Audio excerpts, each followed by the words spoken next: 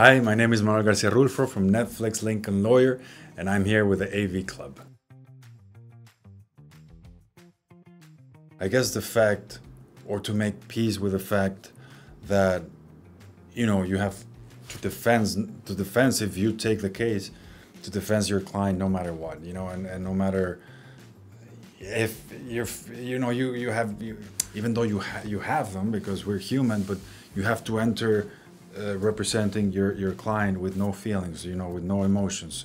Um, even though there's a feeling or a, a, little bit of doubt that he might be guilty, that you think he might be guilty, but as a defense attorney, you just have to go all in and, and, and you know, and, and, and represent him for, uh, you know, for the best. Oh yes, definitely. I, I was a huge fan.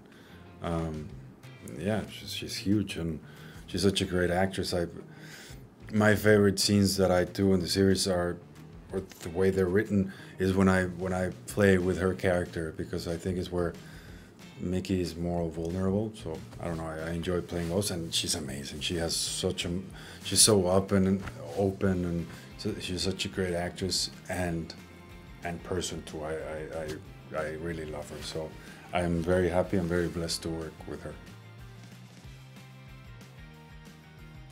It's a very delicate, you know, subject. I, uh, I, I, mean, I don't know what to say. I, I do hope for the best that, you know, it gets settled down, and I think, you know, it, it should be fair for everyone. You know, everybody should, you know, everybody should win in the industry because without one, there's not, you know, and we need each other, producers, studios, writers, actors, everybody.